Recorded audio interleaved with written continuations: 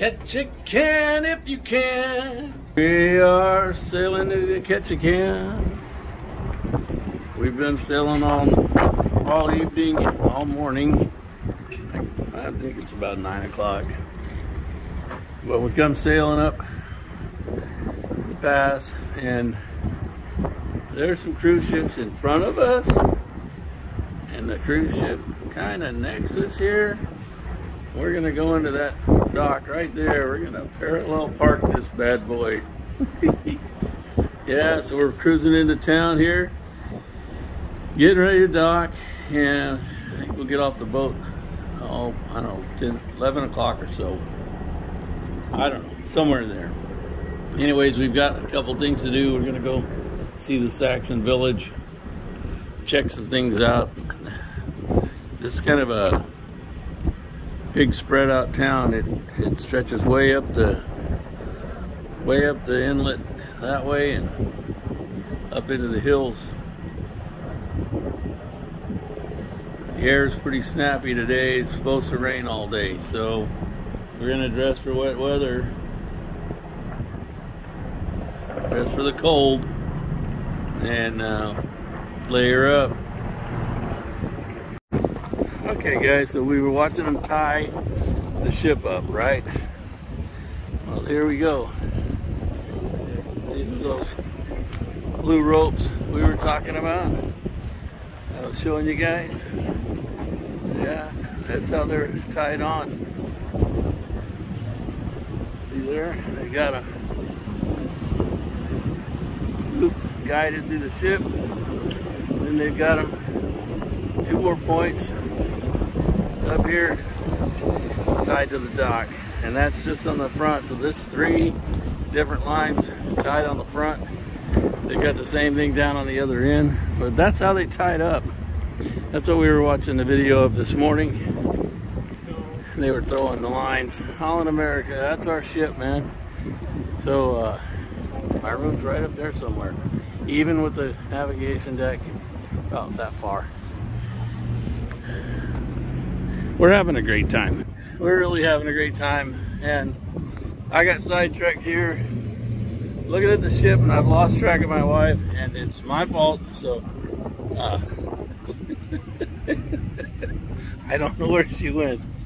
But I'm gonna try to find her. If she's smart, she's in the shelter here waiting for me. And she's probably walking down the road going, where the hell did he go? I don't know where she went. I had to go videotape that. Uh, I had to get a shot of that for you. I'll talk to you in a minute. So we're here in Ketchikan, and uh, we did a little shopping down the here. In uh, I can't get a good view of that out there. It's raining, and so we're carrying our umbrella and uh, I bought a new jacket just to just to get an extra layer on and to uh, a little more waterproofing. Uh, I've got a I've got a slicker with me, but my slicker doesn't do much for the temperature, so um, we'll be all right. But uh, we've got about an hour before our tour yeah. It's raining out here, and these people are standing out. I got a bad feeling we're going to get wet today.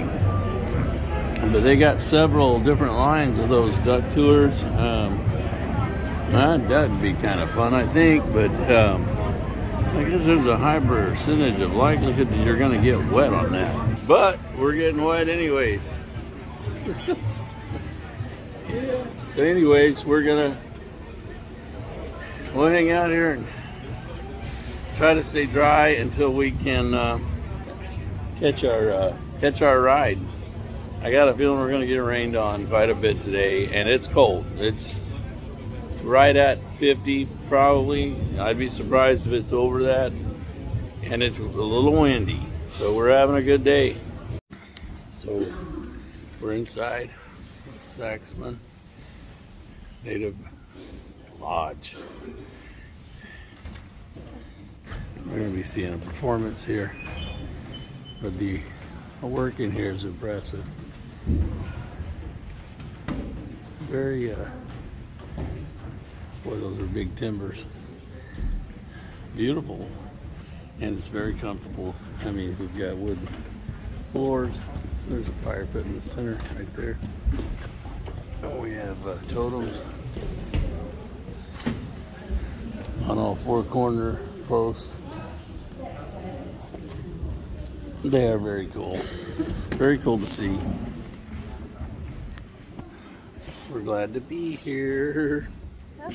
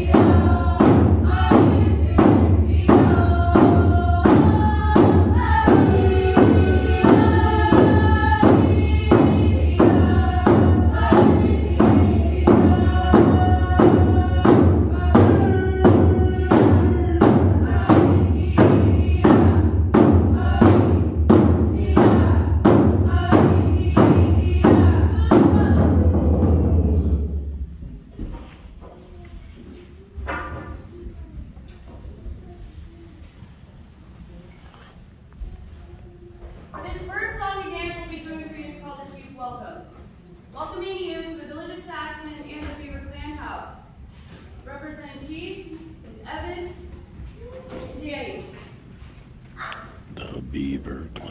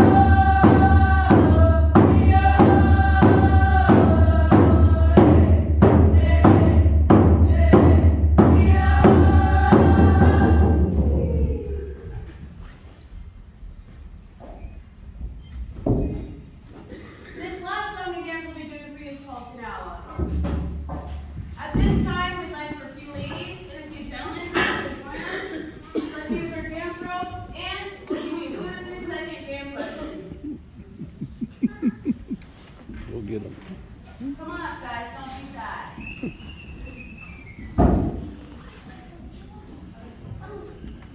Go back with them.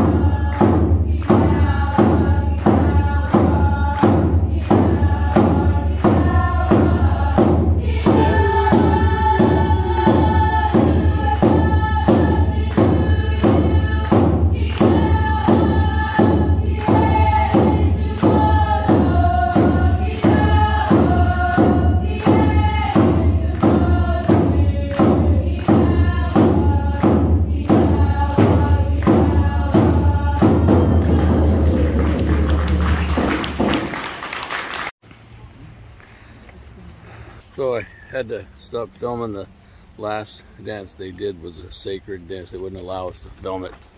And uh, they were calling down fire and salmon from heaven and stuff. If you want to see the rest of it, you have to come to Alaska. There's a totem over there. This is the lodge that we were in. This is the work on the front of it. We're gonna have to hurry down the hill. We're gonna miss out on the rest of it. But let's go on down the hill. There'll be some other things we want to look at. But I wanted to get a shot of these. This lodge, clan, house, but the uh, totem very cool totems.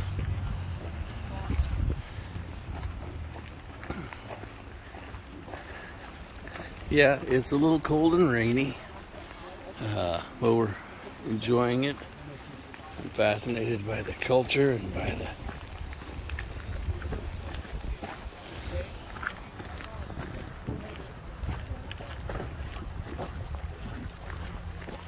artistic nature and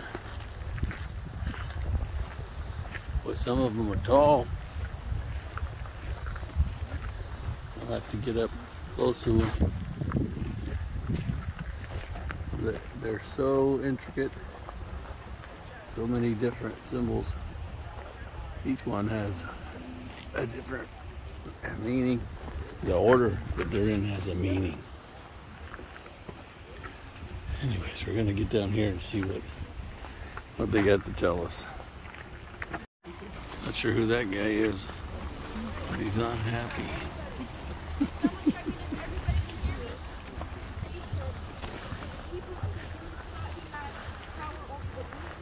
That's William Seward. He helped arrange and conduct a purchase of Alaska. and uh, he has a potlatch hat on his head, and there's rings on it. And each ring represents each potlatch that he was thrown. There's four rings. So during a potlatch, they give you give you gifts, and years time you're supposed to re- reciprocate that and give greater or equal value of gifts back. But he did not know this. So once all the potlatches were done, he put all, all his gifts on a ship and sailed down to the lower 48s. And the reason why his ears, nose, and mouth is painted red, it is a sign of stinginess because he never returned a favor. and a couple years ago, his relatives came here and they asked how much would it be to take down this pole. So they did the calculations. They said it'd be about 1.2 million dollars, and they said, "Oh, never mind, keep that one up." so I'm gonna move on to this next one here in the middle. It is a story pole. It is a story about Kats. Now, Kats was the Hercules type figure of the village. He did most of the hunting and fishing. One day when he was out hunting, he followed this bear into the cave. The bear ended up knocking Kats unconscious, unconscious. And when he woke up, the she-bear, the she-bear was a shapeshifter, and she turned herself into the most beautiful woman she could ever seen of. Go by, and they ended up having three cubs. The three cubs falling down that pole. One day when he was out hunting, he ended up uh, running into his old brother from his old village, and they were so surprised to see him because they thought he had died. He started a new life. So they asked Kats if uh, they could if he could help hunt for his old village because it's come winter time. New family and he asked she bear, his new wife, if he could help. She said yes on one deal. Never lay your eyes on your former wife. When he went on his normal path, out popped his old wife. Abraham Lincoln. and the ravens were off at war, annihilating each other off, bunch by bunch. Finally, the eagles trapped the ravens on the beach, and by that beach, the beach riding the ship. The ravens ended up getting on the ship and asking the people on the ship if they could, if they could have help. They said yes, only for a little while. Now, after that while, the eagles were still overpowering the great ravens, so the people on the ship said, "You guys need peace." So they signed a peace treaty that still stands to this day. And the reason why Lincoln is at the top of that pole, it is because in Lincoln United culture, you cannot put inanimate objects like a ship on top of the pole. So they found the closest thing to that, which is Abraham, and they found a picture. And the reason why he's so short, because in that picture, it was only from their knees up, or else he's a lot taller than that. Now I'm gonna move on to this next one right over here. This one is a missionary because unfortunately the carver passed away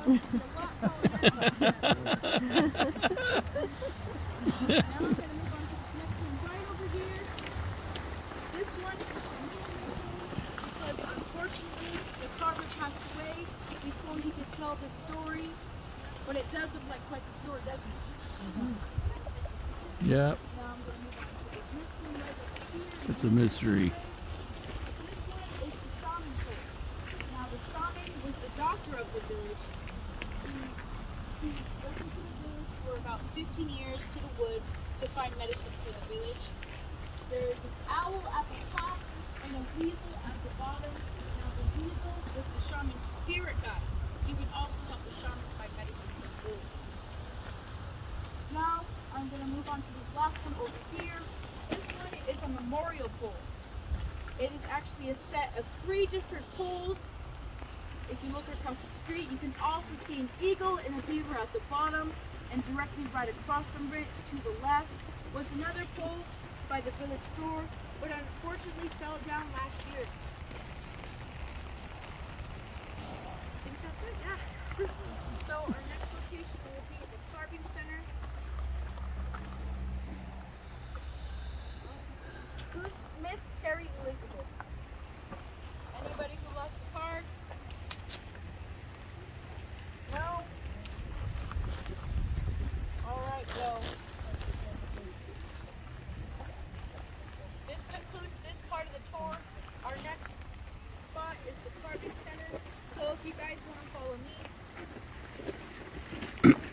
Mm, okay, You say that was a loon?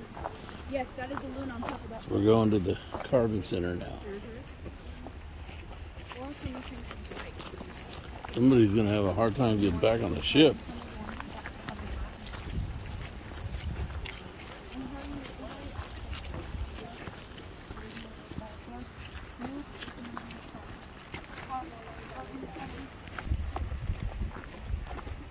Well, legend, let's see.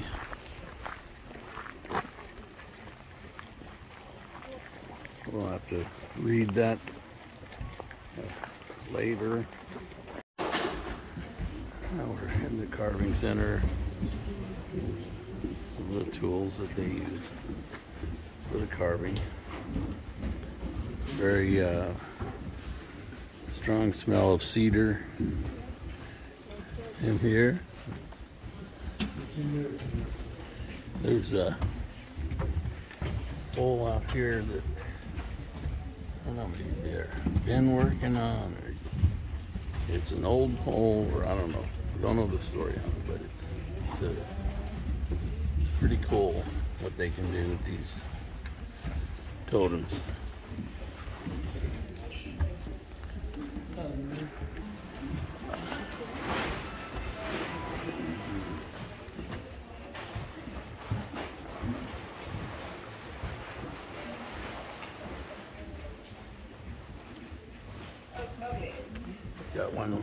Working on there.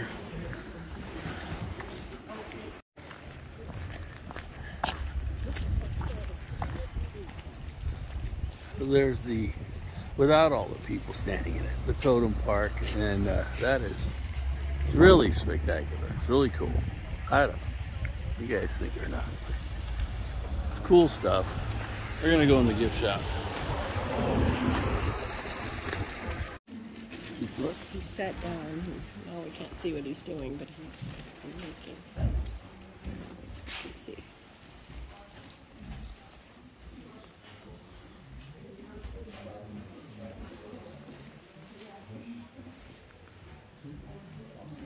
This is for you, Dave. Schumacher.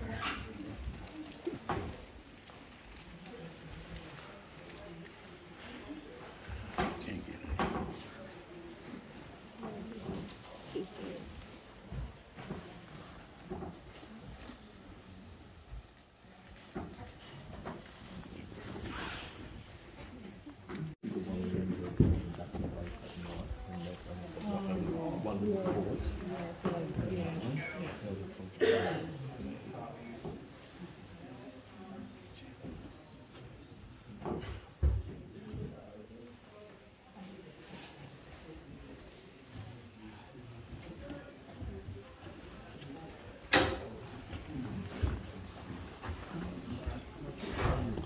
Well, it smells like cedar, but I think they carved Sitka spruce.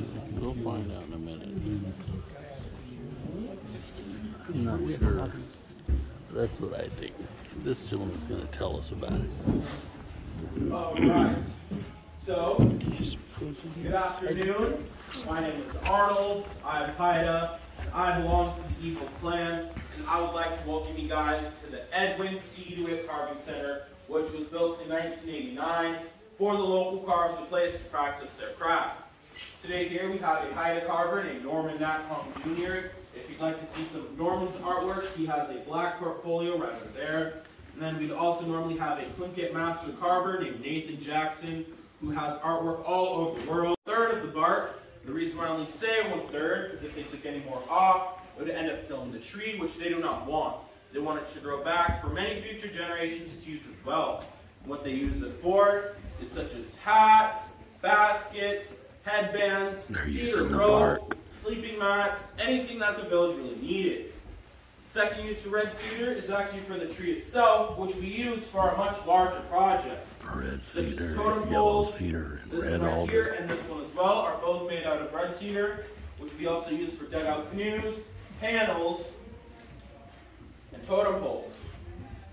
Second type of wood that I mentioned, yellow cedar, is much tighter grained wood and shows better detail, which we use for dancing masks, dancing hats, rattles, paddles, and an interesting piece of art known as the Bentwood box. The reason why I call it interesting is because the Bentwood box is only made out of three pieces, which is the bottom, the middle four sides, and the top. And how they make the middle is will notch it in three different places and then steam bend it onto itself to get something just like this. This one right here is being held together by some wooden dowels and a little bit of Gorilla Glue, but I never told you that. Here's another type of Bentwood box, and they will take crushed up clamshells, halibut slime, and use spruce root to hold it all together. Third type of wood that I mentioned, red alder, is what they use for their tool handles. A carver would go out to the woods, find a nice 45 degree angle branch, custom fit it to their hand, strap the blade onto it to get something just like this. This one right here is called the elbow adze because the elbow-like shape. By chance, did any of you guys get to feel the walls, benches, or even totems of the clan house? Because this tool was used to get that nice and touch. And before we had any metals, we used whalebone, beaver teeth, deer antler, jasper, obsidian, and most commonly found jade, which we get from the jade deposit up in the Juneau area. The second type of tool that they use is this one right here, which is called the lip adze. The reason why it's called the lip adze is because the lip on either side. This one's used in the middle stage of the project just to guide the blade, get that nice rough general shape that the carver would like. Third type of tool that they use is this one right here, which is called the ship adze. Ship adze is similar to lip adze, just on a larger scale, and has more of a modern axe handle. They use this one to haul the back of the totem pole and the inside of a dugout canoe. Now you guys are probably wondering how they raise the totem pole. Well, they'll build an A-frame, dig a hole six to eight feet in the ground, put a creosote log, or nowadays a metal pole, and then they would hoist the totem pole up to the beat of the drum, and off to the side would be the head carver, or the carver dancing to the beat of the drum, just like in the diagram behind me. And guys may be wondering about the paints. We used charcoal and coal when it was more ready and available. Also used copper oxide, iron oxide, and it was actually the women of the village's job to make the paint. How they do that, they take the minerals, grind it into a nice fine powder, grab a handful of salmon eggs, put in their mouth, mix it with their saliva, then spit it back into the bowl with clenched teeth, so that no eggshells or pulp gets the paint. But nowadays, for some odd reason, they don't do that anymore. It's not forcing local carvers to go out to the local hardware store get their own custom-made paint. Now, a common question we get is how fast can a carver get a pole done? A carver could get a foot to a foot and a half done per week, but this all depends on how much detail is going into the pole, how many people are working on it, the size of the pole, and what other projects the carver has going on as well. For example, Nathan Jackson is currently working on this pole, and he could have two to three other projects going on as well. Then Norman Natcom Jr. is currently working on this one, and then this is what it will look like when it is all finished, and it is going to a private buyer in Idaho. Another common question we get is who buys totem Well, there's schools, libraries, airports, museums, the cruise line, and then we have private buyers such as yourselves. Another common question we get is how much do they cost? Well, a beginning carver can charge from 500 to $1,000 per foot. More well-known carver can charge from $2,000 to $3,000 per foot. Then master carvers such as Nathan can charge $5,000 or more per foot. But do keep in mind these are not exact numbers. These are just estimates. The real number is lie between the carver and the buyer. Now with that being said, who wants a totem pole today? Woo! We got we got business cards right over there and over here as well. So, is there any questions? Do they know the story that they're going to try and tell as they're carving it? Or So this one is there's no story behind it. So for a totem pole, in order for a totem pole to go through, it has to remain in our traditional boundaries in order for it to. So for example, it has to be some of the animals that live around here. So for example, there's an eagle up at the top, there's going to be a bear here at the bottom, and then a salmon holding, a bear holding a salmon because the gentleman's named that commissioned it, his last name is Medved, which means bear. So he has a bear here at the bottom, and then an eagle up at the top to, what was it for the eagle? Represent America. Yeah. something that stays in my tradition, and we're both happy. Mm-hmm. Yes. True story. So. Yeah. So, for example, uh, last year Nathan Jackson made uh, made a pole with Norman Nacon Jr. and Christian Dalton, which is this pole right here, and what is called the Whoosh Eton pole, and it was raised up on the Juneau docks eight weeks ago as of today. So they apprenticed under Nathan to make this totem pole, and then here is a drawing for it, and it was on an inch to foot scale. So every inch on this piece of paper is a foot on this totem pole. Wow. And then Nathan has a son named Stephen, and when Stephen was 14, Nathan gave him the option to either work for him or for McDonald's. And I believe Stephen made the better choice because Stephen made a totem pole in our private room back there, and it took them also about a year or so to make. But this is what the totem pole looks like that Stephen made. Wow. And this one is also up on the Juneau docks, which was raised eight weeks ago as well. Mm-hmm. Amazing. Amazing. Any other questions? That one all does vary on the size of the pole, how much detail go into it, and how many people are working on it. But for this one right here, he has a deadline of October 1st. Uh, but another example, uh, Nathan Jackson, he's been carving for 60 years and he is 84. He said back in the 60s he worked on a seven foot totem pole and he got that one done in a week. That's pretty good. In a week. We changed it. That's why I'm on our pole. 'cause we're And then the Tlingit Master Carver, Nathan Jackson, is right here. And a little interesting fact, Nathan Jackson right here was declared a national treasure as well.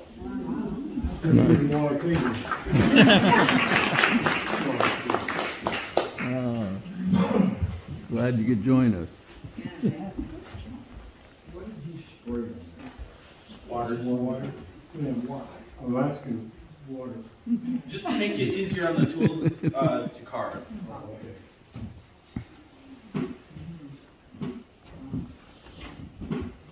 All right. So, one of the things he was talking about was uh, the color patterns um, they use in their newer bowls. They'll use modern paints, but they're sticking to traditional colors: the turquoise, the black, the white, and the red. And apparently, in this case, this one's got yellow. But their colors came from the pigments they could pull out of the soil, out of the land. So, so that's what they were doing. So that's pretty cool. So he said, if you see something with, you know, vivid colors that you don't see, it's uh, it's either not native Tlingits carving it or it uh, didn't come from here. uh, could have been repainted, but uh, anyways, that was the Tlingit uh, Saxman village of the Beaver Clan. Pretty cool. I could stay a little longer even, but we gotta go. We gotta get on a bus and go. And it's starting to rain again, or still. well, we're safe and sound and dry. Back on board ship. We're gonna go get a bite to eat. Thanks for watching the uh, Saxman Village and Totem Park. Uh, hope you had as much fun there as we did. Talk to you later.